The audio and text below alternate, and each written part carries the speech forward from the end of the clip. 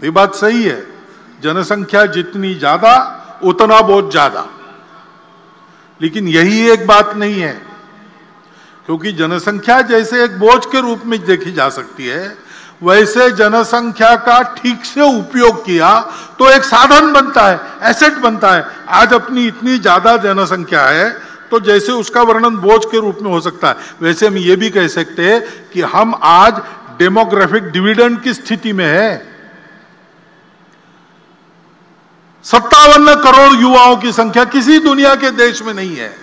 चीन हमारा पड़ोसी, बूढ़ा हो चुका है।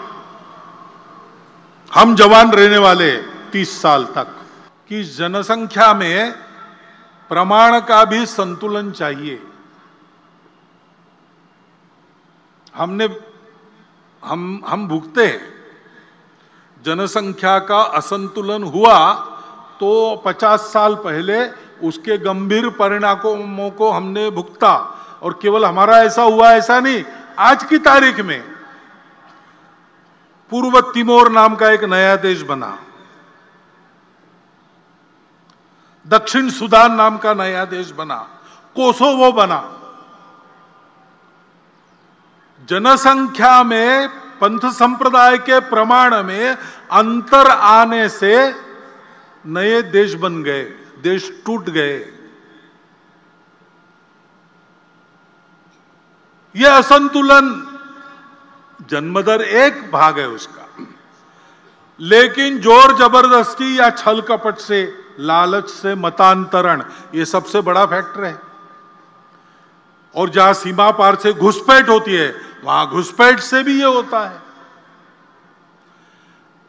उस संतुलन का भी ध्यान रखना देश हित की दृष्टि से अनिवार्य बात है।